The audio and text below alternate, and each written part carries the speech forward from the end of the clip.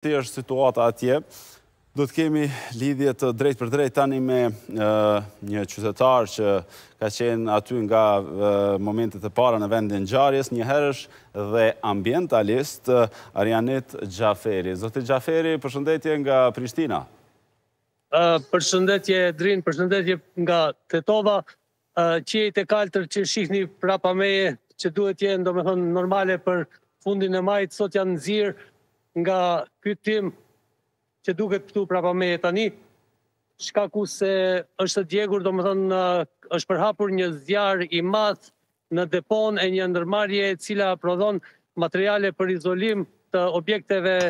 rezidenciale, domethënë izolim të shtëpive të, të, në, në Tetovë dhe gjithë, gjithkund nëpër Ballkan. Zjarri është hapur dikur, domethënë, ka filluar rreth orës 9 të mëngjesit dhe siç e shihni deri në këtë moment, tymi vazhdon akoma të jetë aktiv,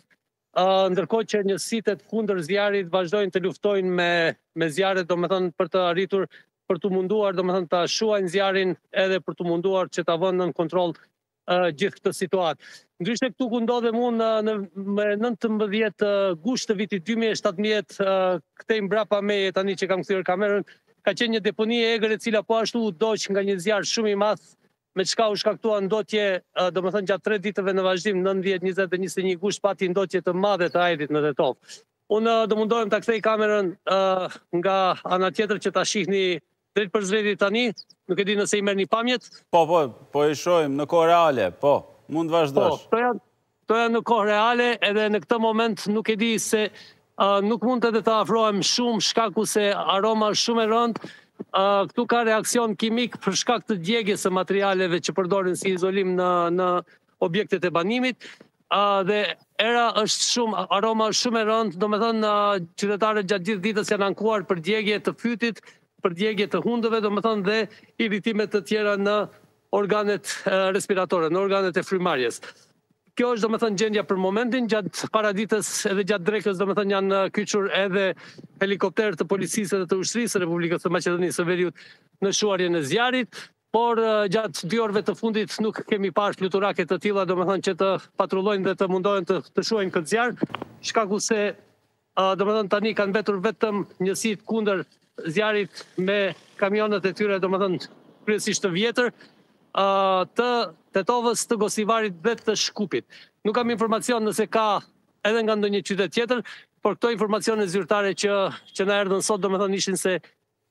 Njësitë edhe kundër zjarrit të këtyre tre qyteteve domethënë kanë ndërhyrë për të shuar zjarrin në Tetovë. Okej, po a dihet diçka të paktën jo zyrtarisht se çka mund ta ketë shkaktuar këtë zjarr dhe si arriti të marrë kaq masë të madhe pa u lokalizuar mbase në start ku dhe pasojat si për ambientin aty përreth Për këtë, këtë ndërmarrje do të ishin më të vogla, por më e rëndësishme po ashtu edhe qytetarë, shëndeti i qytetarëve nuk do të rrezikohej në këtë masë, siç po e përshkruani ju. Po zakonisht, zakonisht domethënë njësia kundër zjarrit në Tetovë është shumë efikase dhe reagon menjëherë, por ata janë, nuk kanë pajisjet e duhura, automjetet e duhura, domethënë të mjaftueshme për t'u përballur me kështu, me kështu krizash, ndërkohë që Nuk dihet akoma saktë se çfarë e ka shkaktuar zjarrin. Në Tetovë ndodhi edhe gjatë vitit të kaluar një një zjarr ku u dogj domethënë spitali modular i Tetovës, ku humbën jetën dhe 14 persona dhe sot e kësaj dite nuk e kemi kuptuar se çfarë e ka shkaktuar zjarrin, domethënë sepse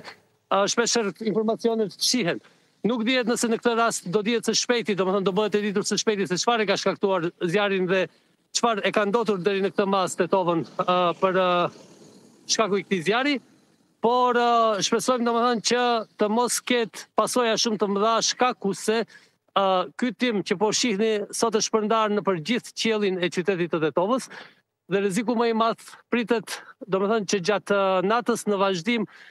grimcat helmuese, gazrat helmues domethënë që po shpërndahen tani në atmosferë, ka rrezik të bien në tokë, të shtresohen në asfalt, domethënë dhe të shkaktojnë pasoja tjera serioze edhe gjatë ditëve në vazhdim. Po megjithatë... A është ndërmarrë, a është planifikuar, apo është paralajmëruar për t'u ndërmarrë diçka në këtë drejtim që pasojat të jenë sa më të vogla gjatë ditëve në vijim dhe qytetarët e Tetovës janë shpërngul nga qyteti, janë shpërndarë apo vetëm janë mbyll nëpër, nëpër shtëpitë e tyre, pasi e theksova dhe në hyrje, Tetova dhe pa këtë tym, është gjithnjë në ato top qytetet më të ndotura të Evropës dhe botës. Po ashtu është, domethënë qytetarët kryesisht janë mbyllur, ka patur apele që të mbyllen nëpër shtëpitë e tyre dhe mos të dalin pa patur ndonjë nevojë më të madhe dhe sikur të dalin domethënë të vendosin maska mbrojtëse, shkaku se ndotja e ajrit është në një nivel shumë të lartë, por megjithatë nuk ka ndonjë informacion për evakuim të mundshëm të banorëve, sidomos në këtë zonë, për shkak se autoritetet po lajmërojnë që zjarret po lokalizohen, domethënë dhe kanë mbetur këto janë tymi i fundit që që sipas tyre domethënë do do do luftojë edhe pak dhe do marri fund. Po gjithsesi domethënë pasojat mund të jenë shumë më të larta siç thash, shkaku se Një grup i madh i zjarrfikësve që kanë punuar sot këtu për t'u shuar zjarret mund të kenë komplikime shëndetësore, por edhe një numër i qytetarëve të cilët janë gjetur afër ose kanë lëvizur për x arsye nëpër qytet, edhe ata kanë rrezik domethënë që të jenë të jenë të asfiksuar ose të kenë patur ndonjë ndonjë komplikim shëndetësor që shpresojmë të mos jetë serioz. Po ashtu është raportuar edhe për një të lënduar me lëndim fizik i cili e ka pësuar gjatë tentimit, domethënë për të ndihmuar njësitë kundër zjarrit, por nuk është në ndonjë rrezik për jetë. Domethënë kjo është pak a shumë gjendja tani, gjithçka pritet të sqarohet gjatë ditëve në vazhdim, nëse do të sqarohet ndonjëherë se çfarë e shkaktoi këtë zjarr. Por ajo që mbetet për t'u diskutuar dhe temë për t'u hapur, edhe nga qytetarët, domethënë edhe nga këshilli i komunës së Tetovës, por edhe nga kryesisht domethënë nga organizatat mjedisore, është që depo të këtilla që përmbajnë materiale të këtilla që digjen lehtë, ndizen lehtë dhe digjen lehtë, duhet të zhvendosen nga afërsia e vendbanimeve. Domethënë dhe këtu ku ndodhet ky objekt që, që po shihni tani që ka marrë flakë, Ka një çerdhe afër dhe ka dy qendra tregtare afër. Është tregu i gjelbërt dhe ka disa shkolla në afërsi. Domethënë dhe kjo përbën një rrezik shumë të madh për jetën dhe shëndetin e qytetarëve. Domethënë ka dhe institucione arsimore shumë afër aty që kanë qenë të parat në kontakt me këtë tym dhe rrezik të shpërndarjes së zjarrit po ashtu. Pikërisht ashtu, pastaj sot paradite domethënë komuna e Tetovës kërkoi që të mbylleshin shkollat për sot dhe nesër, dhe çerdhet sigurisht, domethënë që fëmijët mos ekspozoheshin në këtë ndotje të madhe, por pasditen e sotshme pastaj vendimi i komunës ishte që nesër mund të hapeshin shkollat përsëri, Edhe pse përvoja flet, domethënë kur përmenda më herët se më 19 gusht të vitit 2017, ndotja dhe problemet nga ndotja e ajrit nga djegia e deponisë së egër në këtë lokacion ku ndodhemi tani, ka zgjatur me ditë të tëra. Domethënë dhe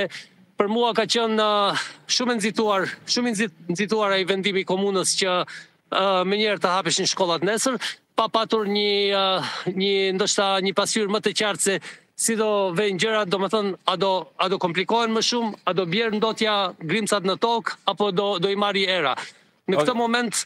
nuk ka ndonjë erë të fuqishme që mund ta ta bëjë një gjë të tillë, por Presim dhe shohim. Oke, një të fundit fare, ka, themi kështu, indikacione që bëjnë të ditur se kur mbase mund të fiket përfundimisht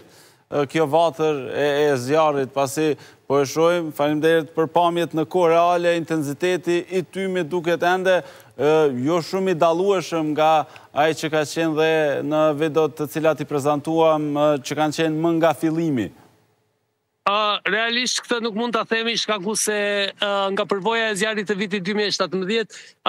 domethënë edhe gjatë ditës së nesërme ka patur tym me intensitet më të vogël, por domethënë ka patur edhe me 20 gusht edhe 21 gusht tym aty këtu. Kështu që nuk dihet sakt nëse do mund ky tym të zhduket sonte ose gjatë ditës së nesërme.